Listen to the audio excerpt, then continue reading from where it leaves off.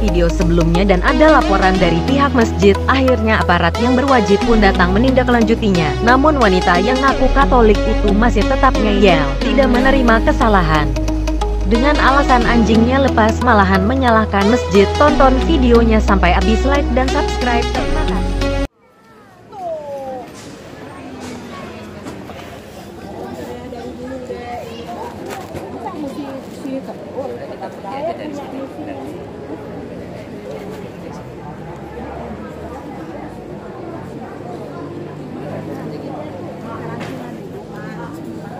Video dan begitu ke polisi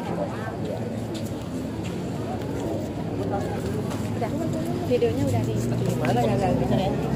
Anjingnya nggak ada di sini. anjingnya kabur Kenapa ibu nyalahin masjid? Nggak boleh. Ibu jangan bawa anjing, ibu yang melepas anjing musik. Ibu jangan marah sama saya. Nanti saya kalau bapak kalau ibu marah sama saya, saya lain nanti sama ibu. Ini tangan saya bisa bunuh orang. Baik-baik bicara ibu. Ibu bawa anjing ke sini, kemudian anjingnya hilang. Kok nyalahin ke masjid? Kalau bukan udah pergi. Bu, bu, bu, eh, bu, pergi gak? Ini ada petugas. Bukan, bukan, bukan begitu. Ini udah ramai masyarakat daripada ramai nanti. Udah, udah ibu nggak usah. Ada petugas kok. Kita aja menghargai kepada orang tua politik. malah anjing sekarang gimana ya bisa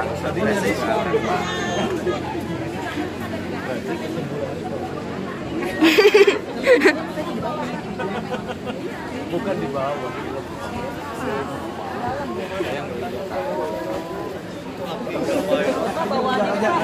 ya yang lain udah mulai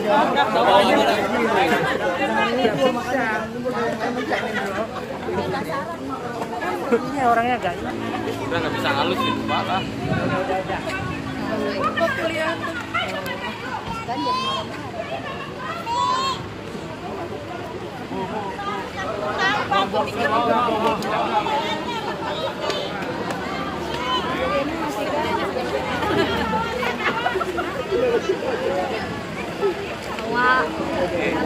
yang bagus kan bang I, bang I. ada kecil Kita cari sama polisi, jangan nyari di sini. Hei, di sana mau cepat anjing.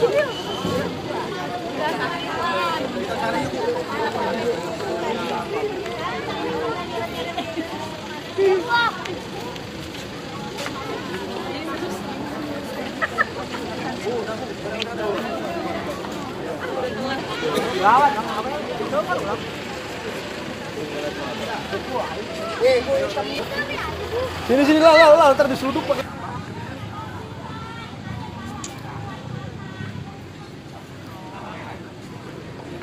Itu mana malah diurusin orang kayak gitu udah tangkep aja masukin sel. Polisi kadang nggak ini juga sih. Enggak. Soalnya emang emang susah pak. Dia bawa kendaraan masalahnya. ya kendaraan mah biarin aja orangnya Kalau dia nggak bawa kendaraan sih.